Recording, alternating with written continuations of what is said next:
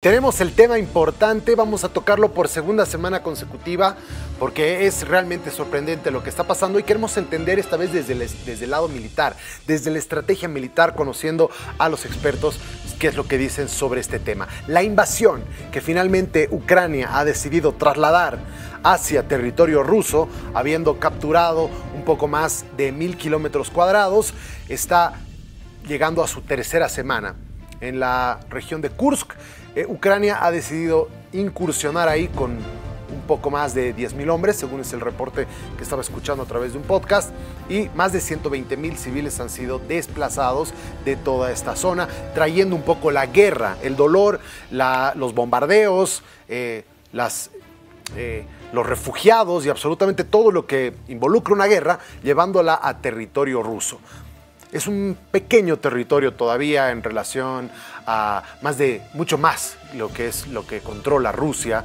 en Ucrania.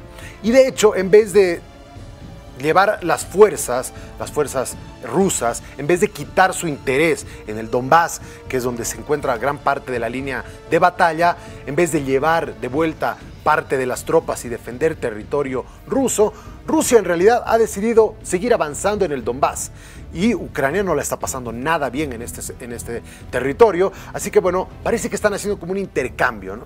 Vamos a tratar de entender qué ramificaciones tiene esto.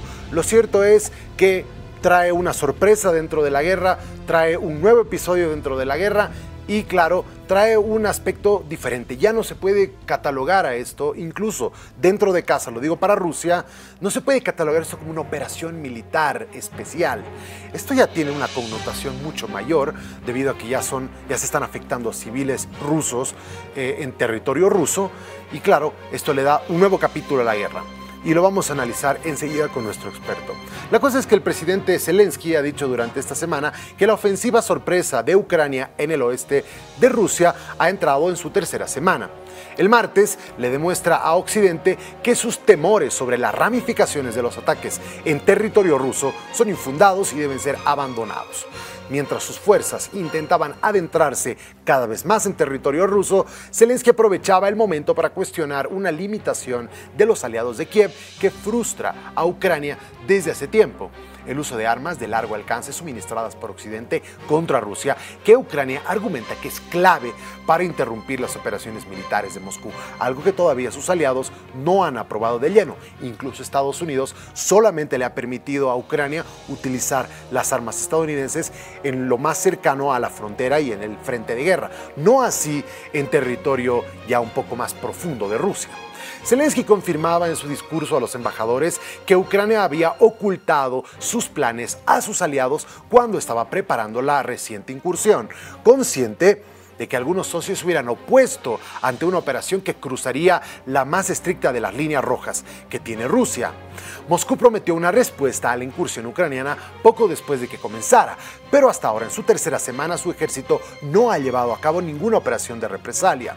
Con su ofensiva, Ucrania logró capturar rápidamente varios asentamientos y una ciudad en Rusia, pero hasta ahora parece haber fracasado en el cumplimiento de otro de sus objetivos, alejar a las unidades rusas de los puntos calientes del campo de batalla en el este de Ucrania, como lo son en el Donbass. Aquí algunos cuadros sobre este tema.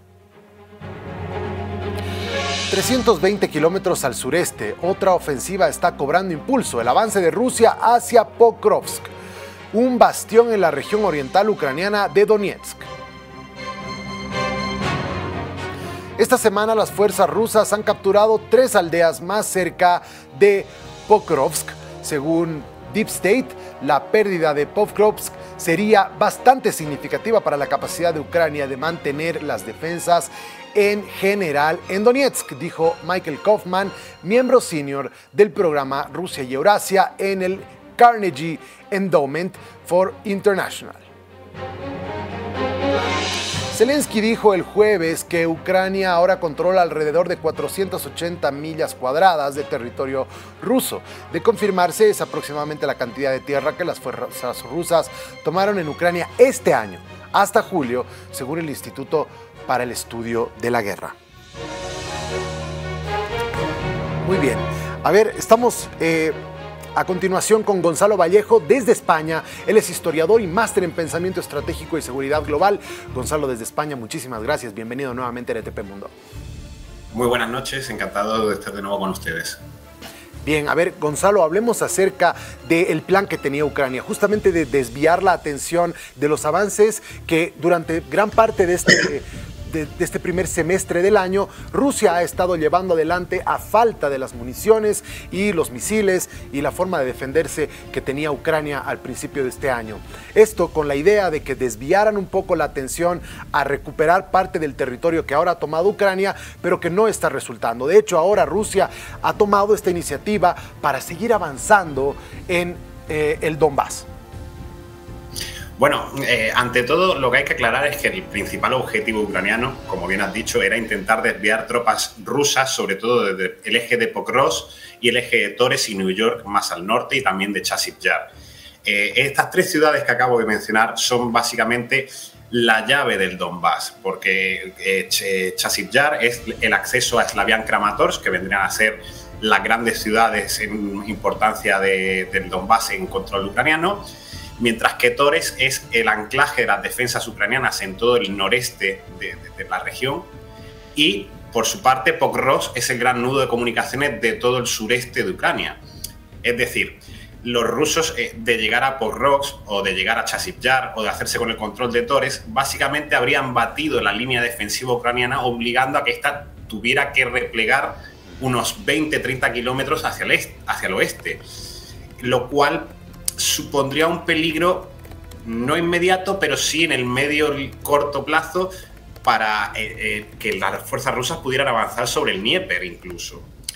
Eso eh, está muy en, veremos en estos momentos porque Rusia al final tiene un desgaste, las, sus fuerzas están sufriendo un, un gran problema a la hora de reemplazar las fuerzas que pierden, porque básicamente las unidades rusas en su mayoría son destruidas en la línea, no, reciben relevo ni reemplazos, son reemplazadas por una unidad nueva. Por lo tanto, hay que entender que a Rusia todos estos avances no le están saliendo baratos, especialmente en material y en vidas, pero sí es un avance constante porque es un avance que se ajusta a la apuesta estratégica y la conducción estratégica que está haciendo Rusia de la guerra, que es una guerra de posiciones donde sus fuegos son los que se imponen, su artillería, su aviación, son las que se imponen frente a un ejército que es más móvil, como es el ucraniano, pero que a la hora de plantar una guerra posicional sufre. Por eso mismo el ejército ucraniano intentó recuperar la iniciativa estratégica llevando a cabo uno de los principios fundamentales tanto de Clausewitz como de Sun Tzu, es atacar al espacio, es decir, donde el enemigo menos se lo espere y donde esté menos defendida esa posición y donde más perspectivas de éxito tenga eh, eh, tu ataque. De hecho, eh, si uno se fija en la topografía y geografía de la zona del ataque ucraniano, es una zona en altura que le permite desde el noreste del Oblast de Sumy penetrar fácilmente hacia la tierra entre los ríos Seim y Seil, que es el terreno que están ocupando ahora mismo Ucrania, especialmente lo que viene a ser la ribera oriental del eh, occidental del río Seil y la ribera meridional del río Seine. ¿Qué pasa? Como tú bien has dicho, son en su mayoría pueblos y es un territorio que tampoco tiene una gran importancia estratégica. Básicamente es un territorio que se podía decir que era prácticamente de, frontera entre Ucrania y Rusia, eh, sin grandes recursos naturales, ni ninguna industria, ni ninguna producción. De hecho, lo ¿Ni siquiera un poco más allá? ¿Qué? Ni siquiera un poco más allá, es decir, lo que dices me llama mucho la atención porque si están tomando un territorio que ni siquiera hay una perspectiva más adelante de un poco más allá de territorio, tomar alguna, alguna ciudad estratégica que tenga recursos naturales, ni siquiera más allá. Es que ese es el gran problema de esta apuesta ucraniana. Los ucranianos lanzaron esta ofensiva eh, eh, usando elementos de brigadas que estaban desplegadas en el este. Es decir, casi todas las fuerzas que tú has mencionado, tú has mencionado unos 10.000 hombres.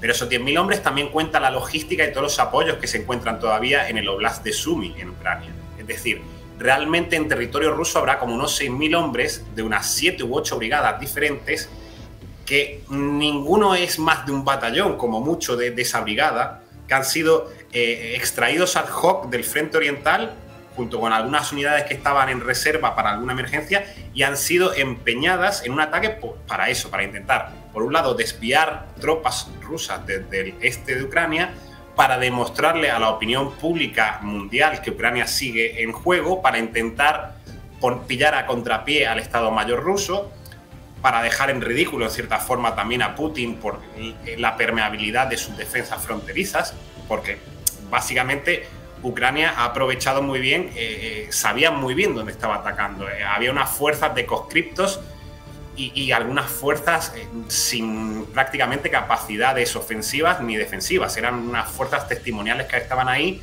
porque se suponía que no iba a haber ningún ataque. De hecho, el Estado Mayor ruso tenía información de la concentración de tropas ucranianas en Sumi, pero no lo valoró como problemático debido a la presión que ellos están ejerciendo en el este ucraniano.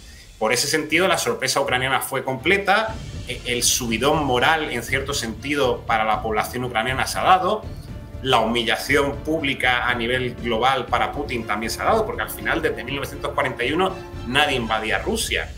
Además, ha sido en el Oblast de Kursk, que tiene mucho simbolismo, no, hace falta recordar por qué es famoso este Blast. Entonces, es una operación un poco, no te diría yo que desesperada, pero sí muy arriesgada, que si Ucrania se queda a medio camino de conseguir sus objetivos, es decir, eh, em, una incursión rápida en la que atrae fuerzas rusas y se retira después de haber conseguido causar unas decenas de miles de bajas y mm, otras decenas de miles de prisioneros y eliminar unas cuantas unidades rusas del orden de batallas o impedir que esas unidades rusas puedan volver a participar, eso podría considerarse un éxito operacional incluso para Ucrania y lo podría venderlo como un éxito. El problema ahora radica en que Ucrania se obseque en mantener el territorio conquistado en Rusia, porque eso supondría habilitar y crear un nuevo frente de batalla donde Rusia al final eh, llevaría ese mismo frente a la, guerra de posiciones que hemos estado viendo en, todo el resto de Ucrania. ¿Por qué? Porque al final Ucrania tiene las capacidades que tiene. Para llegar a Kursk eh, son más de 100 kilómetros. La, logística ucraniana llega hasta 35 40 kilómetros. Eh, si uno ve el mapa, los máximos avances ucranianos son 35 kilómetros en dirección este y unos 40-45 dirección norte. Es decir, 35-40 hacia el Seil y unos 45-50 hacia el Seine. Y siempre aprovechando las, las 3-4 rutas que hay por la región, que es básicamente lo que más valor tiene la región. El, paso de, ferrocarril entre la región de Smolensk y la región de Belgorod, y luego la carretera que va desde Rilsk a, a Suzda a través de Korenovo, que era una ruta usada por las tropas rusas para llevar reemplazos y relevos a las fuerzas rusas atacando en Kharkov, en el norte de Ucrania. Esa es la otra opción que también se podría plantear con este ataque. Si Ucrania es capaz de asegurar y afirmar el territorio que acaba de conquistar rápidamente y deja el frente oriental aún más desguarnecido, pero es capaz de explotar este éxito que ha tenido en Rusia, podría intentar un avance sobre la espalda de las fuerzas rusas en el norte de, de Kharkov. Claro, el problema es que aquí Ucrania está atacando en una zona que por doctrina, por organización y, cultura militar le corresponde al Distrito Militar Occidental, que básicamente el grupo de ejércitos ruso que estaba atacando justo en el norte de Kharkov. Por lo tanto, también aquí a la hora de la defensa entramos en una cuestión lógica y logística. A Rusia le sale mejor eh, desplazar o redesplegar las tropas que estaban atacando en Bokchansk, en el norte de Kharkov, que son eh, las fuerzas del sexto ejército de armas combinadas, el undécimo cuerpo de armas combinadas, el 44 cuerpo de armas combinadas, la 47 división de tanques de la Guardia. Esas unidades, más unos cuantos elementos de brigadas de infantería naval y, unidades de, las BDBs, son, factibles para, son muy factibles que puedan impedir nuevos avances ucranianos y que incluso lleven precisamente esta operación ucraniana a un nuevo frente de guerra de posiciones, que es lo cual lo que debe evitar Ucrania, porque si no sería un poco más o menos prolongar el frente otros 100 kilómetros más al norte con un nuevo frente que es igual que el que tienes en el este, porque además la gente que piensa que Rusia no va a emplear la misma violencia sobre territorio ruso que usa sobre territorio ucraniano, está equivocada o no conoce muy bien a Putin y, cómo actúa. Que que, haya habido 120.000 desplazados de sus hogares y que las 78 poblaciones que están ahora bajo control ucraniano acaben siendo ruinas, eh, si Putin puede venderlo como un éxito, va a pasar. De hecho, ayer, solo en el día de ayer, contra la penetración ucraniana, se lanzaron más de 21 ataques aéreos con bombas planeadoras. Rusia ya está disparando con su artillería más de 10.000 proyectiles en la zona al día y está empleando sus drones. Y todo esto es todavía sin que el grueso de las tropas que han destinado para la región hayan llegado y se hayan desplegado. Es decir, ahora mismo están combatiendo elementos sueltos de a lo mejor una compañía de un regimiento, una compañía de otro batallón, pero ninguna unidad todavía está entera ahí como tal. A ver. Por lo tanto. Gonzalo, quería preguntarte, a ver, ¿qué tan cerca se encuentra Rusia de completar su objetivo de liberar el Donbass? Tú hablabas de tres ciudades que son, son llaves para concluir justamente con, eh, o sea, para el ingreso o total toma del Donbass. Em, ¿Qué tan probable es que Ucrania siga avanzando eh, en Rusia y tomar y llevar adelante toda la, estrategia de abrir un nuevo frente de guerra en esa parte?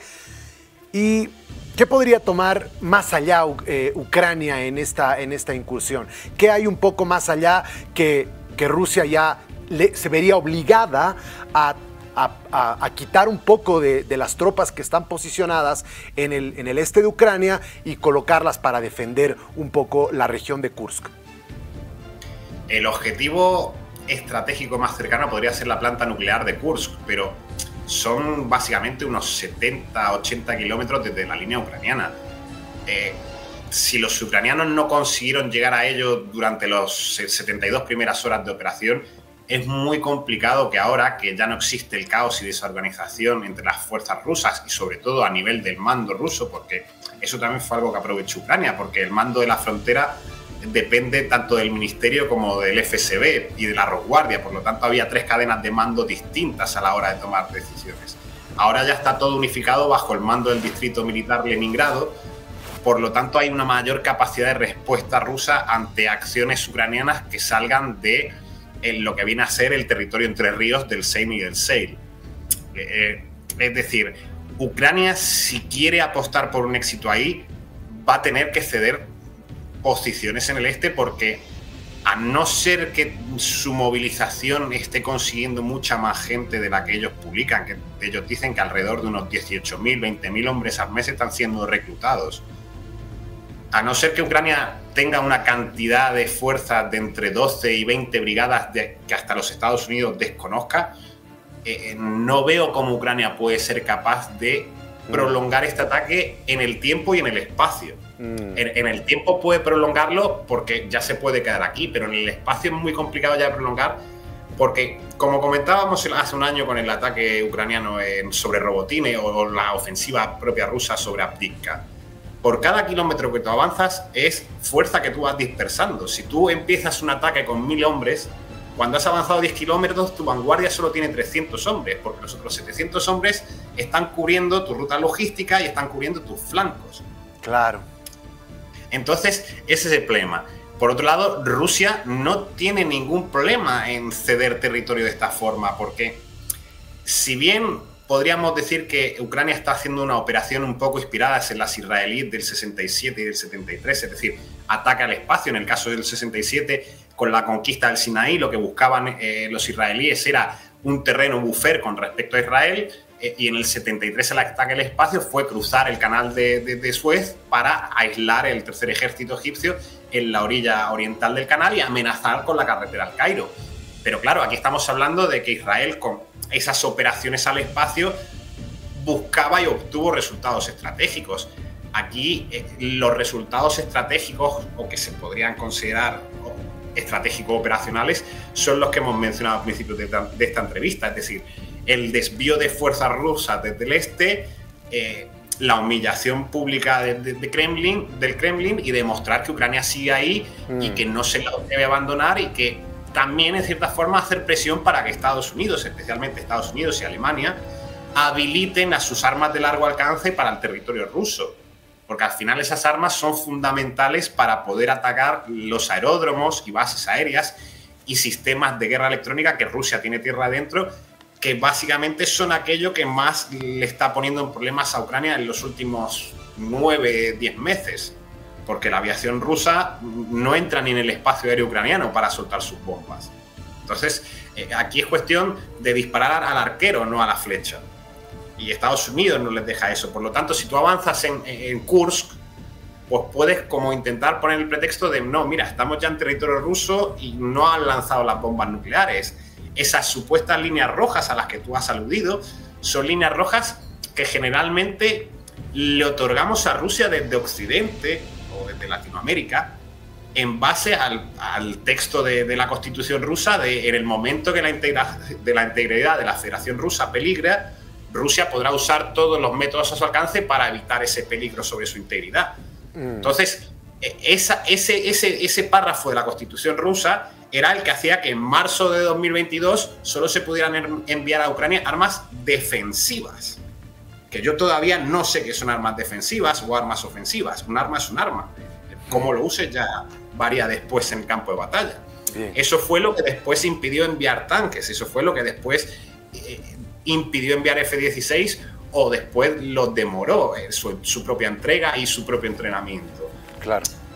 Eh, las líneas rojas de Rusia realmente solo las conoce Rusia. Occidente se las otorga y se está viendo que las líneas rusas, eh, las líneas rojas que se le otorga a Rusia son muy moldeables y muy variables dependiendo la fecha y las acciones y también el clima geopolítico del mundo y lo que esté dispuesto sobre todo Estados Unidos a arriesgar en sus futuras relaciones políticas entre la Casa Blanca y el Kremlin.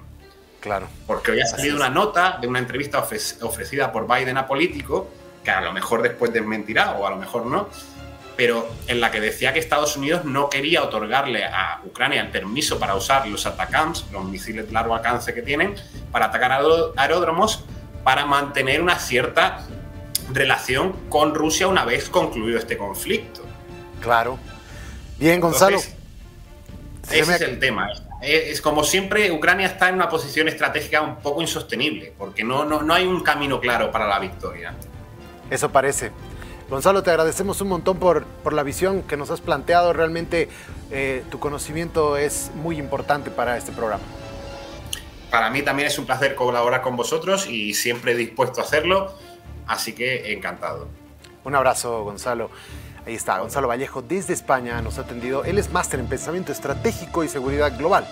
Y como ustedes pueden ver, esta, la situación de Ucrania verdaderamente se encuentra ya en las, en, las últimas herramientas que se puede utilizar. Rusia está tratando ya de culminar con su estrategia de liberar el Donbass, que esa era la estrategia inicial de Putin. Y pues a ver qué le depara, a ver qué puede lograr generar en lo que se viene muy pronto seguramente, o por lo menos eh, muy pronto me refiero en, los próximos meses, ¿no? capaz hasta un año y un poco más, para darle cierre a este episodio de guerra en Europa que no se veía desde la Segunda Guerra Mundial. Bien, vamos a una pausa ya retornamos para referirnos al siguiente tema vamos a hablar acerca de Venezuela. Luego de la pausa tenemos que seguir hablando del tema porque el Tribunal, eh, el Supremo Tribunal de Justicia de Venezuela le ha dado, ha ratificado la victoria de Nicolás Maduro. Ya volvemos.